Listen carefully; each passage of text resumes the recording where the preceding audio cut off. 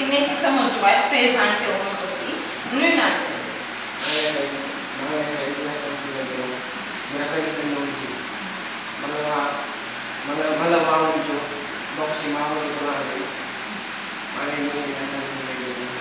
maam Diop lay wuyoo moom maam bu ba fii nga xam ne mooy boulangerie bi kii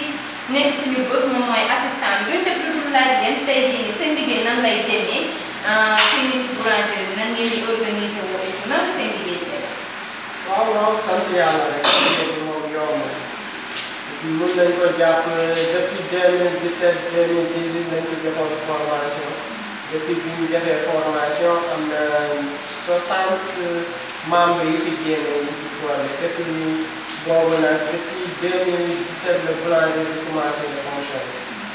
ñu commencé foofu fenn bu ñu liggéey boobu